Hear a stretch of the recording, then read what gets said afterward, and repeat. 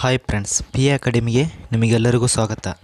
ಇವತ್ತಿನ ವಿಡಿಯೋದಲ್ಲಿ state bank of ಇಂಡಿಯಾದಲ್ಲಿ ಕರೆದಿರುವ ಹುದ್ದೆಗಳ ಕುರಿತು ನಾನು ವಿಡಿಯೋದಲ್ಲಿ ಸಂಪೂರ್ಣವಾದ ಮಾಹಿತಿಯನ್ನು ನಿಮಗೆ ತಿಳಿಸಿಕೊಡ್ತೀನಿ. ಆದ ಕಾರಣಕ್ಕಾಗಿ ವಿಡಿಯೋವನ್ನು ಸ್ಕಿಪ್ ಮಾಡದೆ ಕೊನೆಯವರೆಗೂ ನೋಡಿ. ಬರ್ರಿ, ವಿಡಿಯೋ ಶುರು ಮಾಡೋಣ.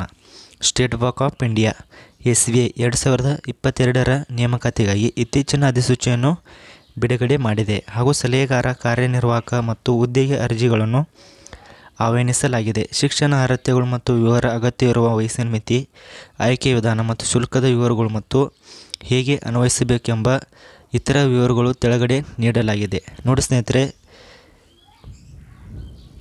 ಎಸ್ ಬಿ ಐ ನೇಮಕಾತಿ ಎರಡು ಸಾವಿರದ ಇಪ್ಪತ್ತೆರಡರ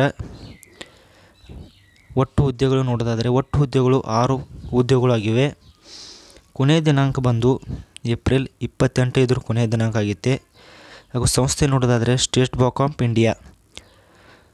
ಉದ್ಯೋಗದ ಪ್ರಕಾರ ನೋಡೋದಾದರೆ ಬ್ಯಾಂಕ್ ಉದ್ಯೋಗ. ಒಟ್ಟು ಖಾಲಿರುವ ಉದ್ಯೋಗಗಳು ಆರು ಉದ್ಯೋಗಗಳಾಗಿವೆ. ಸ್ಥಳ ನೋಡೋದಾದರೆ ಸ್ಥಳ ಹೀಗಿವೆ.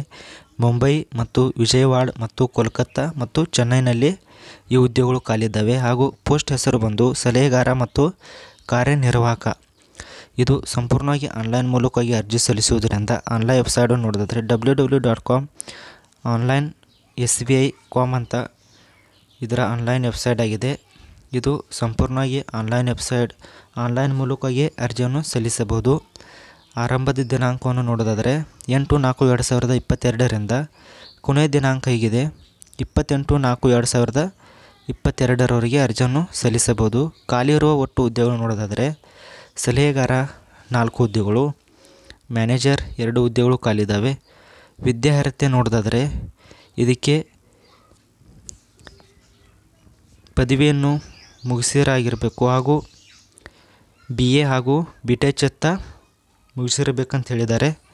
ನೋಡಿ ಸ್ನೇಹಿತರೆ, ಇದರ ಏಜನ್ನು ನೋಡೋದಾದರೆ ಮಿನಿಮಮ್ ಏಜ್ ಇಪ್ಪತ್ತೈದು ವರ್ಷವನ್ನು ಹೊಂದಿರಬೇಕು ಹಾಗೂ ಗರಿಷ್ಠ ವಯಸ್ಸು ಅಂದರೆ ಅರವತ್ತ್ಮೂರು ವರ್ಷನ ಒಳಗಿನವರಾಗಿರಬೇಕು. ಸಂಬಳ ಪ್ಯಾಕೇಜ್ ನೋಡೋದಾದರೆ ಅರವತ್ತ್ಮೂರು ಸಾವಿರದ ಎಂಟುನೂರ ನಲ್ವತ್ತು ರೂಪಾಯಿದಿಂದ ಒಂದು ಲಕ್ಷದವರೆಗೆ ಇದರ ಸಂಬಳ ಇರುತ್ತೆ.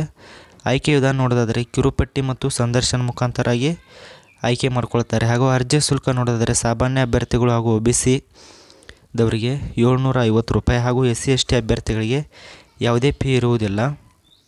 ಇದು ಆನ್ಲೈನ್ ಆಗಿದ್ದರಿಂದ ಆನ್ಲೈನ್ ಮೂಲಕವಾಗಿ ಅರ್ಜಿ ಸಲ್ಲಿಸಿ ಹಾಗೂ ಪ್ರಮುಖ ಸೂಚನೆಗಳು ನೋಡೋದಾದರೆ, ಪ್ರಮುಖ ಸೂಚನೆಗಳು ಹೀಗಿವೆ. ಅರ್ಜಿ ಸಲ್ಲಿಸಲು ಮೊದಲು ಅಭ್ಯರ್ಥಿಗಳು ಪರೀಕ್ಷೆಯ ಸೂಚನೆಯಲ್ಲಿ ನೀಡಲಾದ ಸೂಚನೆಯನ್ನು ಬಳಸಿ ಎಚ್ಚರಿಯಿಂದ ಅರ್ಜಿಯನ್ನು ಸಲ್ಲಿಸಬೇಕಂತ ಹೇಳಿದ್ದಾರೆ.